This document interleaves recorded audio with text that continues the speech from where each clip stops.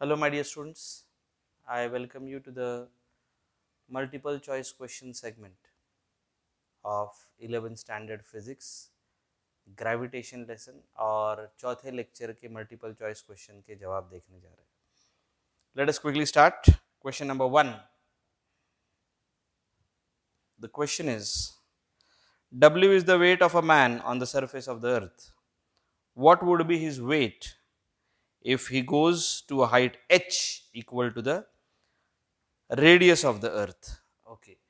उसका weight है कितना है उसका weight? W on the surface of the earth, which is because of the gravitational attraction.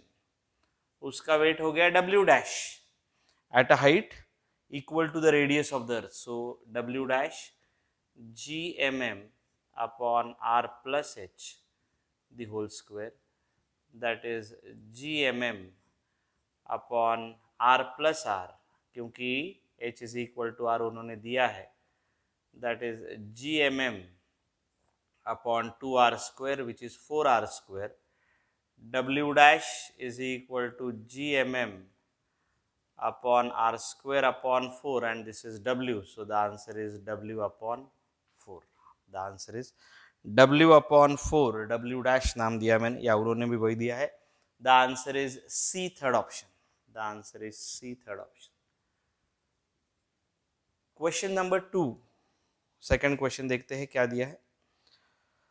The height of a point vertically above the earth surface at which the acceleration due to gravity becomes one percent okay. gh is equal to 1% of g. इसका h ढूंढना है gh is equal to gm upon r plus h the whole square is equal to 1 upon 100 into gm upon r square. gm gm gets cancelled. 100 r square is equal to r plus h the whole square. Taking square root of both sides, 10 r is equal to r plus h. h is equal to 9 times r. सवाल को ध्यान से देखिए वो radius के terms में पूछा है एक ऐसे हाइट पे जहाँ पे acceleration due to gravity one percent रह जाती है it is nine R it is nine R the correct option of the second question is B is B. Okay, now the third question. The third question. A man standing on the equator. Equator के ऊपर बंदे को खड़े कर देते हैं man standing on the equator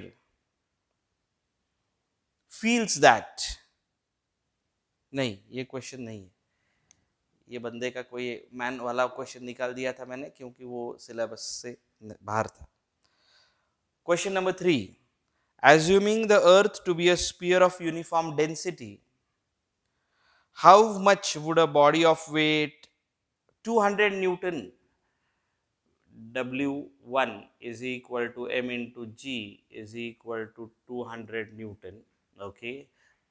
200 Newton was a way at a distance of r by 2 from the center of the earth. W2 is equal to M into GD which is equal to m into g into bracket 1 minus d by r that is equal to 200 into bracket 1 minus. How much is d bachcho the value of d is r by 2 so it is r by 2 upon r that is 200 into 1 minus half. So that is half. The answer is 100 newton. The answer is 100 newton a first option a first option right okay then the fourth question r is the radius of the earth then the value of acceleration due to gravity at a height h from the surface of the earth will become half okay half कब होगी उन्होंने question पूछा है g h is equal to half of g कब होगा at what height g h is equal to gm upon r plus h the whole square is equal to half of gm upon r square. gm gm gets cancelled. 2r square is equal to r plus h the whole square. square root lay out root 2r is equal to r plus h. root 2r minus r is equal to h. r into bracket root 2 minus 1 is equal to h. this is my answer. height आएगी H R into bracket root two minus one yes the answer is there the answer is D fourth option the answer is D fourth option so first is C second is B third is A fourth is D and now the fifth one what is the percentage decrease यहाँ बहुत गड़बड़ी होती है। Percentage वाले calculation बहुत ज़्यादा percentage मिलने वालों को भी नहीं आता। I don't know why what is the percentage decrease in the weight of a body when it is taken 32 kilometer below the surface of the earth 32 kilometre लेके जाने के बाद कितने प्रतिशत वज़न घटेगा W minus W dash upon W into hundred पूछा है which is m into G minus M into G D upon M into G into hundred that is g minus gd upon g into 100 that is equal to gd कितना है रे भाई g minus g into bracket 1 minus d by r upon g into 100 this is equal to d by r into 100 how much is d 32 kilometer upon 6400 into one hundred ये गया ये गया the answer is zero point five percent है क्या option zero point five percent the answer is C देखो percent कैसे ढूंढा है? कितने प्रतिशत मास डिक्रीज हुआ है? So it is weight on the surface minus weight at that depth upon weight into hundred that is how we calculate the percentage decrease W is M into G on the surface minus M into G D upon M G into hundred M cut हो गया, ये G D के terms में आया। जी और G D के terms में G D की जगह वैल्यू सब्सिट्यूट की जी कट हो गया। You get the answer question number five the answer is C third option question number six question number six क्या है? देखिएगा ठीक से। If G H and G D with acceleration due to gravity C में आया हुआ है 2015 में। At a height h above the earth surface and depth d below the earth surface then gh is equal to gd के लिए क्या होना चाहिए gh is equal to gd के लिए क्या होना चाहिए gh is equal to g into bracket 1 minus 2h upon r is equal to g into bracket 1 minus d by r so gg gets cancelled 1 minus 2h upon r is equal to 1 minus d by r I get D is equal to 2H. I get D is equal to 2H. That is D fourth option. That is D fourth option.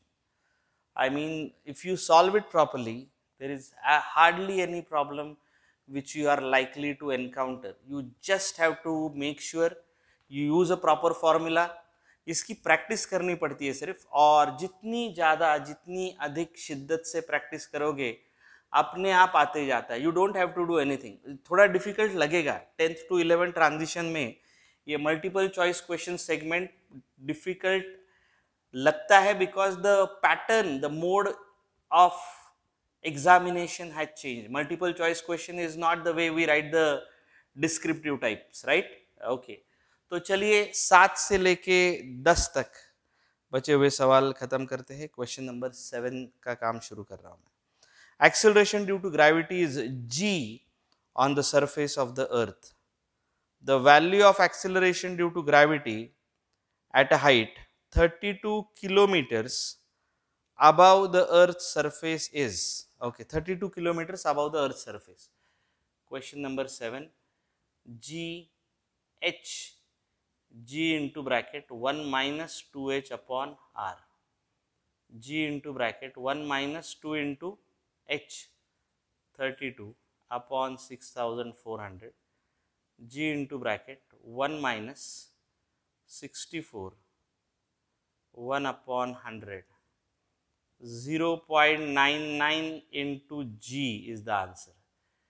Gh is equal to 0. nine nine into g, the correct option over here. क्या हुआ है? Formula है। H is equal to thirty two radius of earth उन्होंने six thousand four hundred kilometre दे के रखा है। G S is equal to zero point nine nine into G the correct answer is B second option question number eight a man weigh sixty K G weight on the earth surface the radius of the earth is six thousand four hundred kilometres at what height above the earth's surface its weight becomes 30 kg weight at what height h ढूंढना है मुझे h ढूंढना है w dash is equal to w by 2 हुआ है weight which is how much 60 kg weight becomes 30 kg weight इस, इसका मतलब आधा हुआ है आपको लिखना है तो उसको 60 और 30 लिख सकते हैं but I think this is fair enough this is going to be h पूछा है ना okay so this is going to be m into g h is equal to m into g upon two g h is equal to g into bracket one minus two h upon R is equal to g by two g g gets cancel one minus two h upon R is equal to half ये इधर गया वो इधर आया half is equal to two h upon H is equal to H is equal to उन्होंने approximate किया है या नहीं वो देखना पड़ेगा पहले। रूट टू लिया है, इसका मतलब उन्होंने अप्रोक्सीमेट नहीं किया है। इसका मतलब उन्होंने अप्रोक्सीमेटेड रिज़ल्ट नहीं लिया है तो मैं अप्रोक्सीमेटेड रिज़ल्ट की तरफ़ जा रहा था। So M into G H G H is equal to how much M G M upon R plus H the whole square is equal to M G H upon two into bracket R square cut हो गया.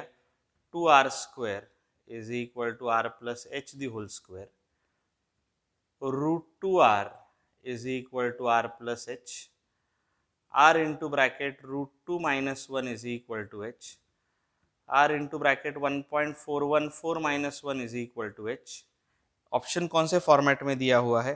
Okay okay, value में दिया गया है option So what we get is 1.414 minus 1 into 6400 the answer is 2650 kilometers 6400 into 0.414 is equal to h.